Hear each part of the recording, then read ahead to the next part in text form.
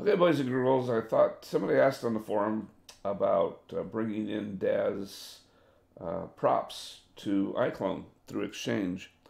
They weren't able to find figure out how to, or, or I guess using either the test program or something, to get things to um, be selectable and work as subprops. So I thought I would show a very, very quick tutorial on this. Uh, hopefully, those of you that already know how to do it don't pay attention. This is just a uh, a prop. It's actually a vehicle prop. You know, there's vehicles uh, as a sub item in Daz.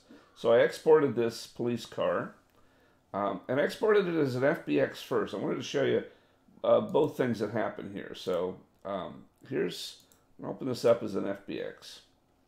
So you might you might try this. You might say, well, I'm opening this up as an FBX and I can't get the wheels and the doors. Yeah, I'll keep promoting that stuff. I can't get the wheels and the doors uh, to be separate. How can I move the wheels or open the doors or, you know, do that stuff? Um, and that's what we want because there's really no point in having a prop like a car if you can't move the wheels for sure.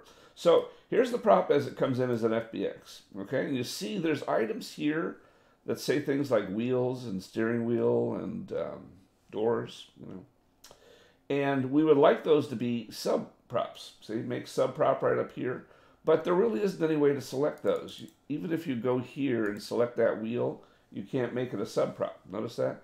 That's because it's all uh, parented under this main body thing. Now, I, I show in another video how you could bring this into, for example, the Blender and select those items off. And you can do that. That's fine if you have that ability. But we don't need to because uh, because there's another way of doing this. Because as an FBX, this is what happens when you import props and items in. And um, so here I also exported it, also exported it as an OBJ.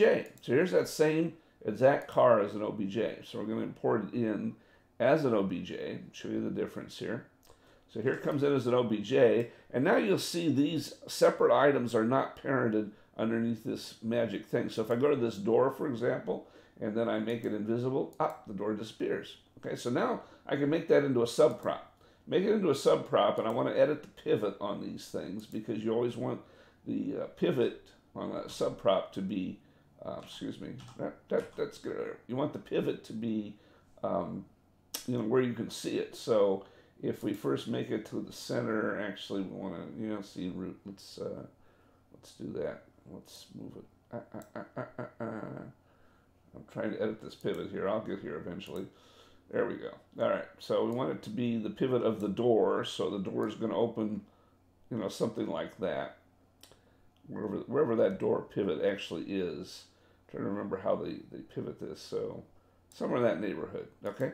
So now you've got this sub item here, the sub prop. And I'm not, and you can do the same thing for the wheels. You know, we go in and select each wheel and make those into a sub prop too. So we can, and then edit the pivot for that and make that uh, pivot center, obviously. So I won't do all the rest of the stuff. I just wanted to show you this part. So now we're going to apply this to iClone. When iClone, now that we've uh, made subprops and uh, out of those particular uh, items, we can also animate them separately. So now when they come in here. So now you can go ahead and you can you can animate the car itself. You can have the car, you know, move and if you do that, um, the props move with it, so that's good.